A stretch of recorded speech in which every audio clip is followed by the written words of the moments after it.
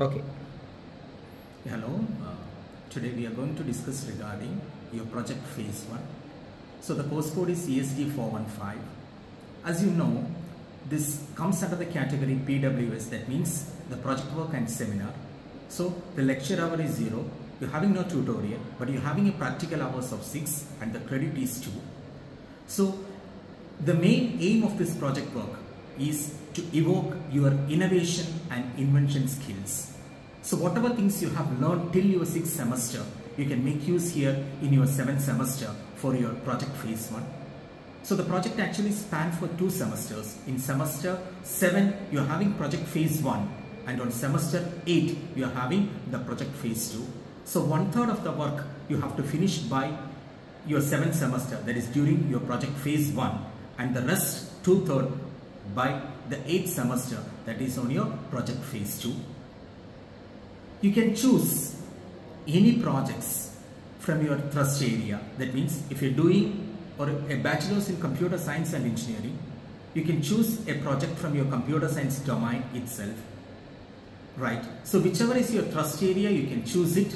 No issues. If you have, if you are a mechanical student, you can choose it from the mechanical domain. Right. Then now it's an era of transfer learning. You can even choose interdisciplinary projects. But the focus should be on you have to address the societal problems and you have to develop indigenous technologies and solutions for that. Right. Now, for project phase 1, we are having 100 marks. So out of this 100 marks, 30 marks it's given by your guide. Then there are 70 marks by an evaluation panel. So this evaluation panel that consists of the head of the department, the project coordinator, senior faculty or your project guide, right? So 30 mark is exclusively given by the guide. In that 30 mark, the guide is evaluating your individual performance, your punctuality, how well you are maintaining your uh, project diary, then how you com comply with the teamwork, then how well you met the schedules, you give the deliverables. So everything is individually as well as group wise is evaluated by the guide and the 30 marks is given by the guide, right? Then we are having interim evaluation 1 that's for 20 marks. That's again given by the panel, right?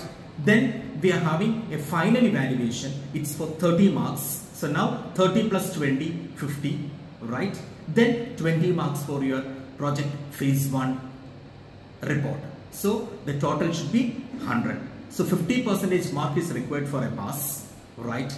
So the most important and the crucial thing in this evaluation process is that that's technological universe. That means the Kerala Technological University, APJ Abdul Kalam Kerala Technological University has given well-defined rubrics for everything.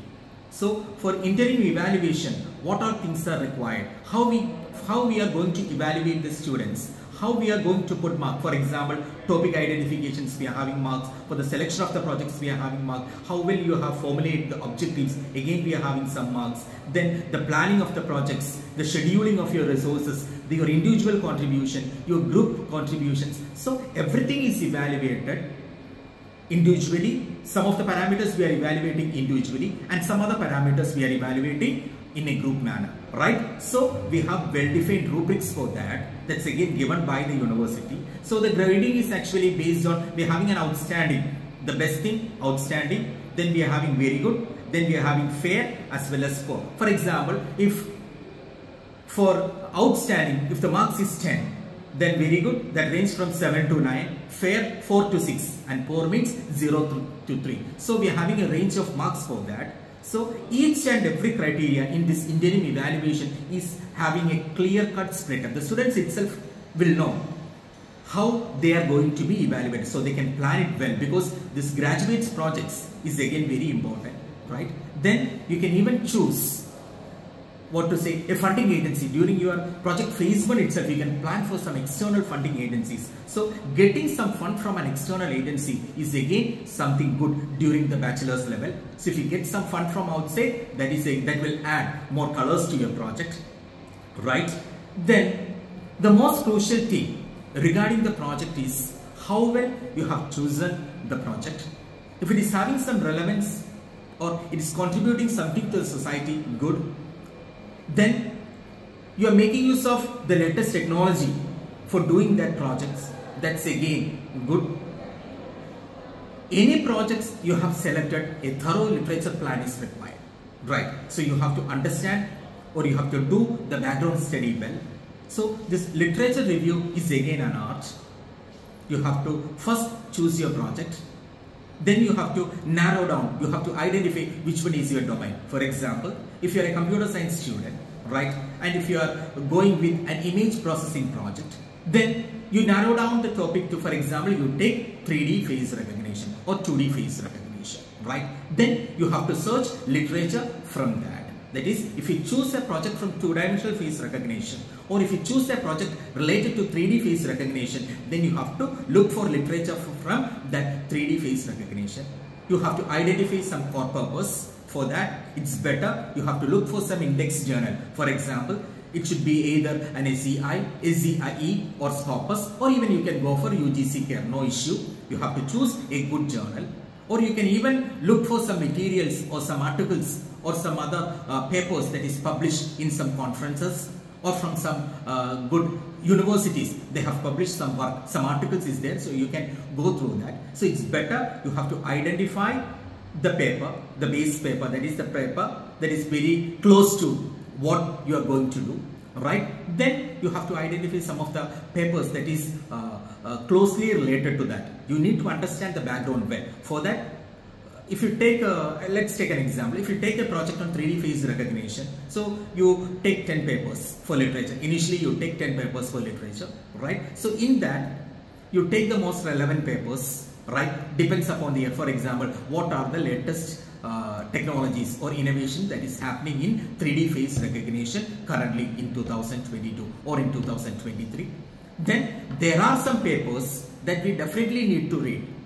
Okay, so that sort of papers you have to identify. So you take the base paper, you take some of the correlating papers so that you have to narrow down your domain so that the literature study or the literature review become much more easy.